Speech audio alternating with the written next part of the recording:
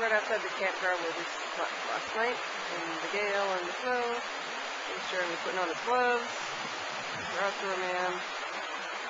And here's our campsite. I, I probably should get this in the light so you can see.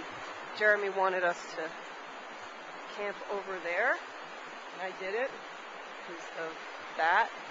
And this morning he was like, Did you see this hole in the tree last night? And I said, Yeah, and he said it would break at the fulcrum so we would be safe, but I don't know. I think we could have ended up like those people over there. Magnificent here.